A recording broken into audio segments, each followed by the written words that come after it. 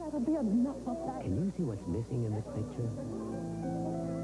Well, a government study says that half the school kids in America don't get all the calcium recommended for growing kids.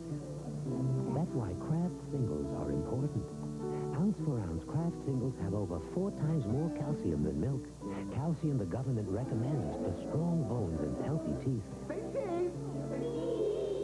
Say Kraft singles, because kids love Kraft singles, right down to their bones.